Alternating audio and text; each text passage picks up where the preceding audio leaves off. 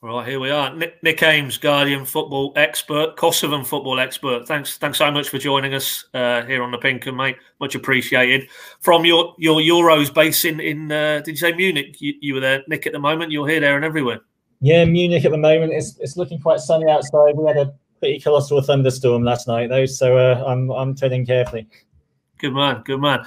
Um, I'd love to chat to you about the Euros, but but to, to more pressing matters, if you're a Norwich fan, it's all about now I'm going to say his name, and you straight away pick me up on the pronunciation if it's completely wrong. But I'm going to say that Norwich's new signing, Milot Rashica. Is that um, wrong? Um, I'd say Rashica. Rashica. There you go. Straight away, we've learned something, Nick. Thanks for that. Um, Kosovan international, which is where I'm hoping you'll be able to give me and, and the Norwich fans some insight because um, since the news was confirmed by Norwich, um, just uh, sort of Tuesday afternoon. I'm losing track. Yeah, Tuesday afternoon. I think his Bundesliga backstory is pretty well known now. You know what he's done at Werder Bremen, um, the clubs he's been linked with, Aston Villa, notably 12 months ago. But also, he's a fully fledged Kosovan international, and and you've charted the, the, the story of the Kosovan national team very closely. Um, so to start with, Nick, just give us a brief overview. Anybody's not aware of the sort of the political backdrop to that, but it's a it's an unbelievable story. Um, and then more pertinently, Rish, Rahisha, Rashika. I'm going to have trouble here, mate. Rashika. Go on, say it again. I'd go Rashitsa. Rashitsa. Sorry, I should have pronounced it. I should have pronounced it. Uh, and his story as well, which you know in the in the recent times is uh, it's unbelievable. You know, just missed out on the Euro uh, sort of 2020 tournament, didn't they? So just give us just give us an overview on the the Kosovan football story. Sure. So, so Kosovo um, was a part of the before Yugoslavia, um, and then obviously that broke up. And since then, it was contested quite heavily between Serbia, um, um, of, of which it was considered part, and and then a more ethnically Albanian independent country of its own. Um, so Serbia thinks that Kosovo is part of Serbia. Kosovo considers um, itself independent and and declared um, independence, I think, 10 or 11 years ago. So FIFA and UEFA have recognised this, and I think since 2016 they've been members of FIFA and UEFA.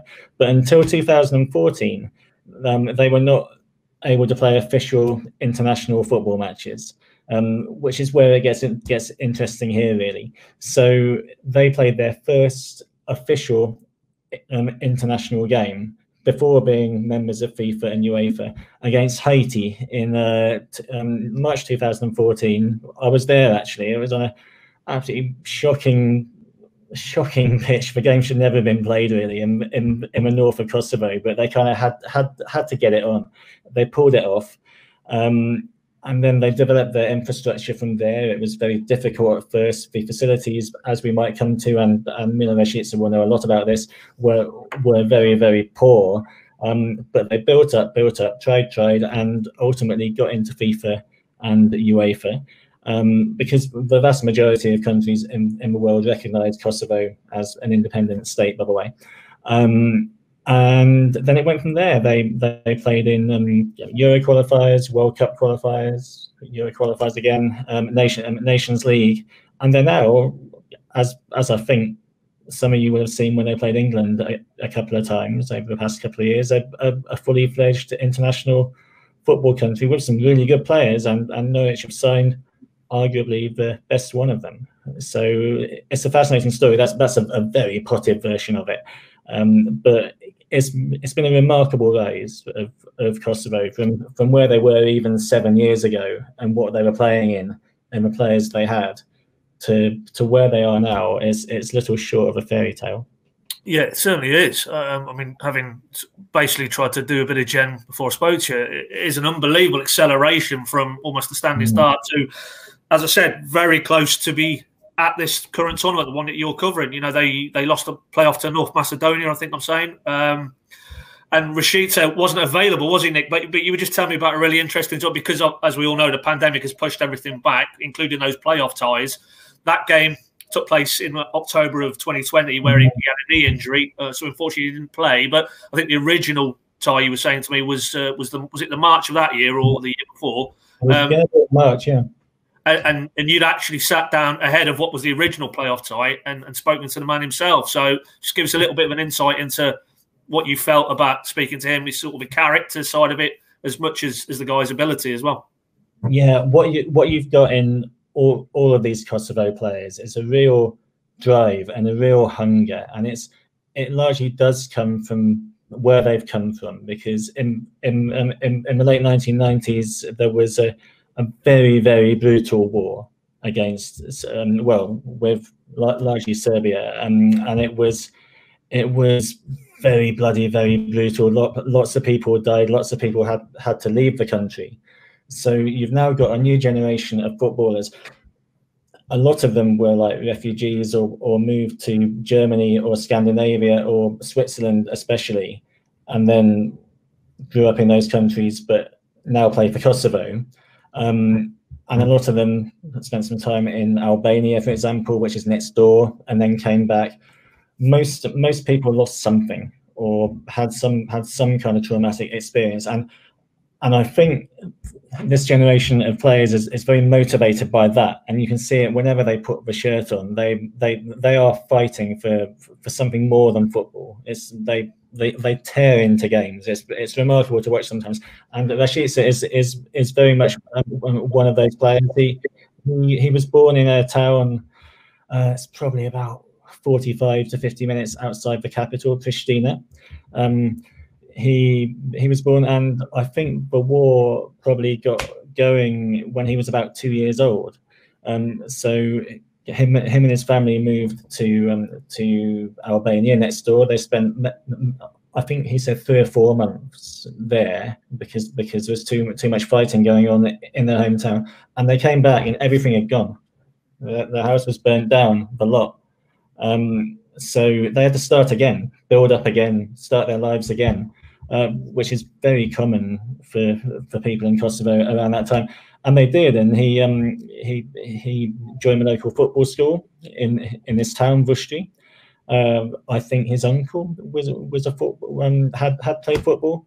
His dad was a dentist, but also very interested in football. So put a lot of his work to the side and brought him to the to the local football school, and it kind of went from there for him. Really, um, he made his professional debut, I think, for um, for Vushtrria. Um, well, I say professional debut, senior debut when he was about 16.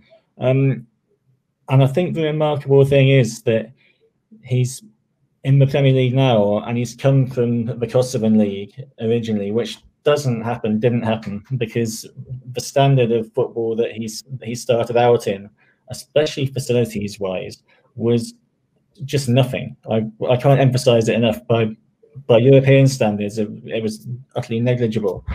Um, so he's not got that academy education, which I think you might see a bit in how he plays. Not not because he, not because he, he can't do the tactical or, or, technical stuff, but because he's spontaneous and, he, and he's got that bit of something else that you can't really teach. Um, and he's he's pushed on from there. Um, but it's been a remarkable journey considering that yeah he he started out in the in in in the local team of a small town in Kosovo that did have to start again after the war. Yeah, it is a phenomenal backstory. And uh, obviously Werder, but prior to that, he was in Holland. I mean, uh, did you chart, you know, how he went, as you said, from the sort of the Kosovan breeding ground in terms of football? How did he get picked up and, and then found found his way into those more recognisable sort of European leagues? Yeah, he was he um, he he was spotted on trial, um, I think, by a, a Vitesse scout, and I think that would have been around 2014. I, I think that wasn't wasn't long after Kosovo started playing inter, international football um, at that point, and and Vitesse really really liked him, and um, and he signed on from there, and he he he pretty much I think it maybe took him a year or so, but he he became you know, an absolute star attacker for them. Um, at that point, he wasn't on the Kosovo. Well, he he was on the Kosovo national team's radar, but he was in the Albanian national team's system because. Um, because when um, when he was a kid coming through, everyone in Kosovo could see how good he was. But when he was 16, 17, there was no Kosovo national team to play for. So a load of these lads, they're they're they're they're, um, they're ethnically Albanian. Um, that's how things are there. Like Albania and Kosovo, very very strong cultural ties, very strong ethnic ties. So um, so a guy from Kosovo could probably play for Albania. So he, he went through the youth team of Albania and he actually made his international debut for Albania in I think around I think it's 2016, having played for their 21s, um, because at that point still Kosovo wasn't recognised by UEFA and FIFA, um, and then obviously when Kosovo were given membership of those. And he hadn't played a competitive game for Albania. He was allowed to switch. This might this might all sound a bit complicated. I don't know, um, but uh, um, but because Kosovo was a new country, yeah. he was allowed to switch to them basically. Yeah. Um, and that is how that happened. So so that happened while he was at Vitesse and and coming through. And I think there was quite a big wrangle between Kosovo and Albania for his services because everyone could see with the start he made in in in Dutch football that he was the real deal. Yeah, and, and obviously you touched on you know the whole almost diaspora that's had to, to go and, and leave when when when things were really bad. And and you know the names that spring to mind are the Granit Xhakas, aren't they? And the mm. Kiris. Um, but within Kosovan football circles now, I mean, you, you, touched on it right at the outset, Nick. Is is he the star player? Is he the marquee player, or, or is that probably putting too much pressure on him at the moment, or could he become that? How is he viewed within sort of the Kosovan international setup? Oh, he's he's priceless to them. They um, they they've got a few. They've they've got they've got they've got a big striker, Vedat Muriqi, who's who's been at Lazio. They've got Arber Zeneli, who is maybe the winger on the other side of the pitch, um, who who plays in France, and I, I, think I think he'd probably be, be playing in, the Premier League now, hadn't if he hadn't had a, a bad knee injury a year or so ago. Um, but Rashica, Rashica is the one. I remember I I covered their first ever World Cup qualifier in 2016 in Finland because this this this was was the next step of their remarkable story. They they'd done their first game, official game against Haiti. Now they were UEFA and FIFA members, and they could play World Cup qualifiers. So I I, I went to Finland and covered it. A few journalists did, and I think this was Milot Rashica's de- debut for Kosovo and the excitement everyone had. I was in the team hotel just buzzing. They'd come up and they'd just be talking about him because he was the guy they'd been trying to nail down. They'd, they'd wanted him to be their go-to guy, and they got him.